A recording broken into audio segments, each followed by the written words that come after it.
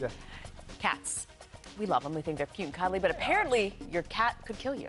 How? It's a new study out by out from Edinburgh in Scotland and the Bronx Zoo. Researchers there teaming up. They compared the personalities of domestic cats to those of four different types of wild cats.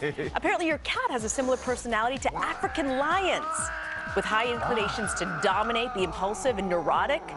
But there's a bit of good news. They say just like cat lions, cats are playful, excitable, and impulsively hilarious. How do you tell if a cat's impulsively hilarious? I love that we pick like the nastiest cat video, the attack cat videos. But the big catch here is they aren't as predictable. So they could love you one moment and then take you out the next. Hmm, who knew? Who knew? Exactly.